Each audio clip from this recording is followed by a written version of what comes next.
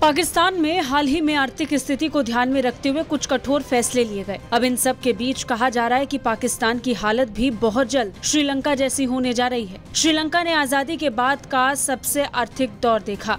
हालात इतने खराब है कि वहाँ पर कर्ज चुकाने के लिए भी कर्ज लेने की ज़रूरत पड़ रही है। वहाँ पर सत्ता परिवर्तन हो चुका है, नई सरकार बन गई है, लेकिन अभी भी ज़मीन पर स्थिति खराबी है। अब जो दौर श्रीलंका में देखने को मिला, बहुत जल्द ऐसा ही दौर भारत के एक और पड़ोसी देश में देखने को मिलेगा।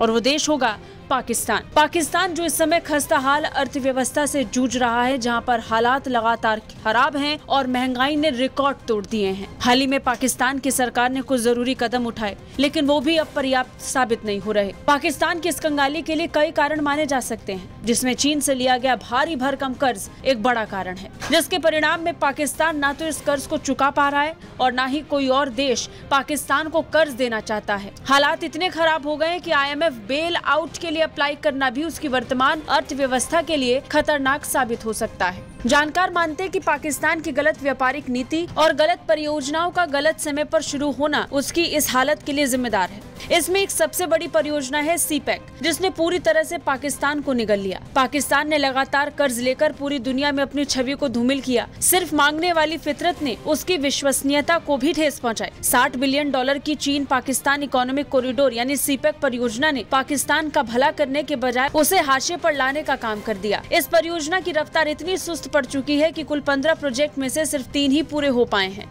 वहाँ भी पाकिस्तान के ऊपर चीनी कंपनियों का तकरीबन एक दशमलव पाँच नौ बिलियन डॉलर का कर्ज चढ़ा हुआ है। कई कंपनियाँ तो अब पाकिस्तान में काम भी रोकने की धमकी देने लगी है, क्यूँकी अभी तक उनको अपना भुगतान नहीं मिला। जिस प्रोजेक्ट के दम आरोप पाकिस्तान खुद की अर्थव्यवस्था बदलने के सपने देख रहा था, बिजली उत्पादन में खुद को आत्मनिर्भर बनाने की उम्मीद लगाए बैठा था, लाखों नौकरियाँ जनरेट कर बेरोजगारी खत्म करने के सपने देख रहा था। वो सब कुछ अब धरा का धरा रह गया है अब सवाल उठता है की जिस देश की हालत इतनी खराब चल रही है, जहाँ पर रोज आतंकी हमले होते हैं दहशत गर्दी की हर एक दिन नई तस्वीर सामने आती है। उसे चीन कर्ज क्यों देता है? ऐसा क्या कारण है कि चीन इन देशों पर इतना मेहरबान नज़र आता है? जानकार बताते हैं कि चीन की एक पुरानी रणनीति रही है। पहले वो किसी भी देश को भारी भरकम कर्ज देकर बुरी तरह से दबाता है, फिर जब कर्ज चुका नहीं पाता तो फिर उनकी संपत्ति को अपने कब्जे में लेना शुरू कर देते हैं।